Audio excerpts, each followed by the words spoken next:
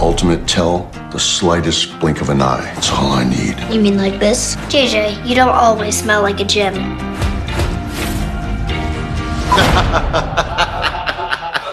Most people who are big and rough are like pretty tough.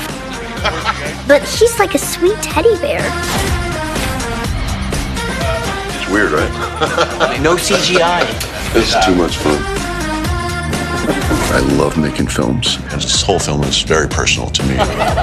He's just a joyful, playful person. And Chloe, she's amazing. I think the world of her. He's definitely a marshmallow.